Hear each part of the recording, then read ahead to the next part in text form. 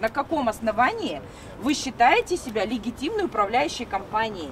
На этих кадрах жители нового многоквартирного дома номер 7 по улице Молодежной и представители компании-застройщика противостоят управляющей компании «Добрый город».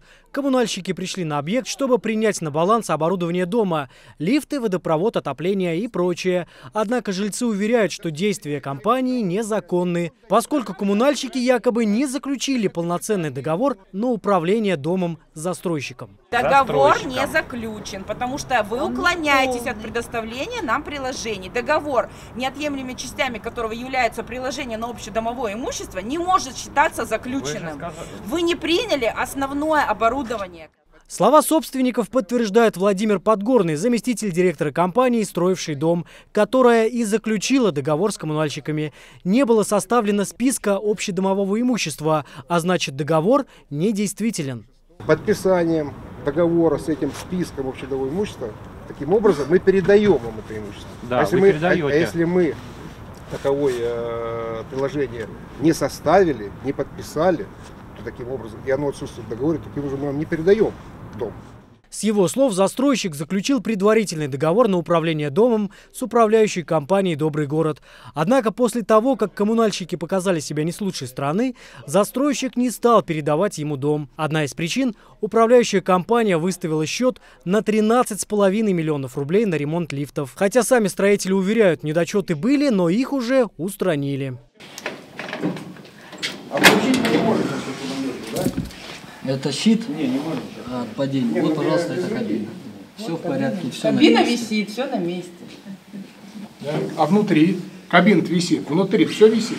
Возмущены и собственники квартир, которым выставили счета на кругленькую сумму. И это при том, что люди еще даже не въехали в дом. 25 тысяч за один месяц. В счетах было э, расходы на общедомовые нужды, холодная горячая вода, отопление, при том, что холодная горячая вода не подключены, ими никто не пользовался. Ну и плюс э, с каждой квартиры э, по 8 тысяч, по-моему, а, с каждой комнаты 8 тысяч, э, сбор и вывоз э, строительного мусора. Тысяч двенадцать я должна была подарить доброму городу. Сами же представители доброго города уверяют, что не спешили принимать дом, пока застройщик не устранит все недочеты. Мы хотели показать, какие существуют недоделки жителям этого дома. Для этого мы вызвали застройщика и жителей.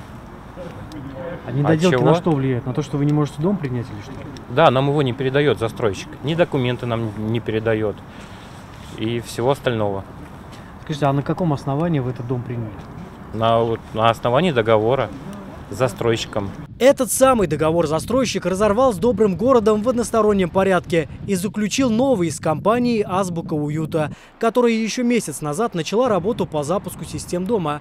Но проработали они недолго. 6 марта в присутствии полиции сотрудники управляющей компании «Добрый город» сменили личинки на замках и опечатали технические помещения в новостройке.